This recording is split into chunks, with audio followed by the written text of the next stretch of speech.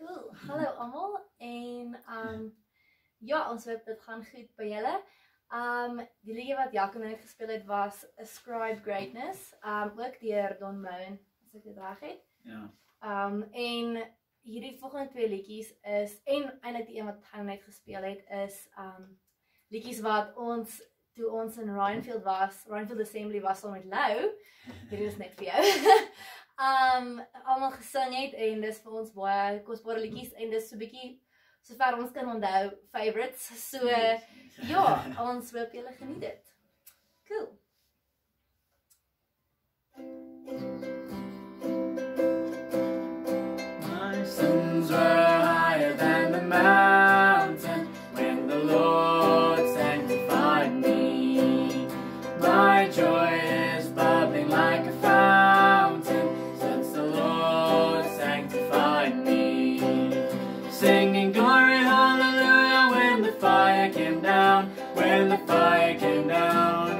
I can.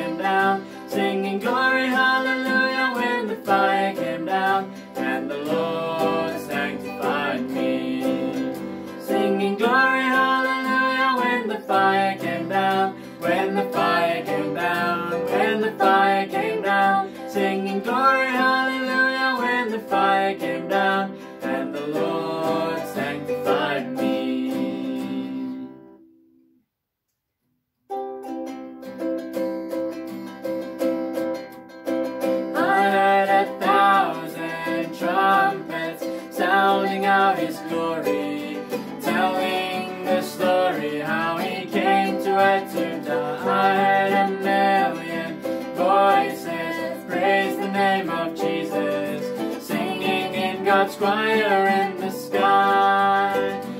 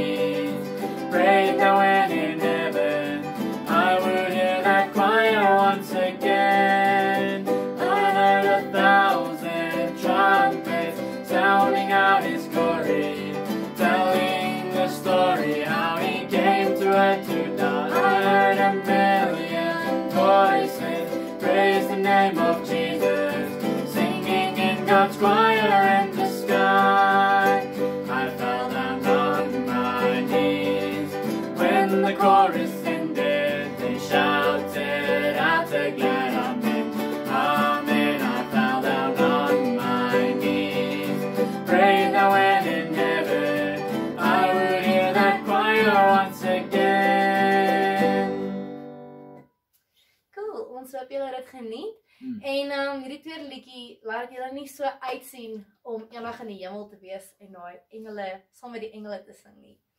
Hmm. Wait.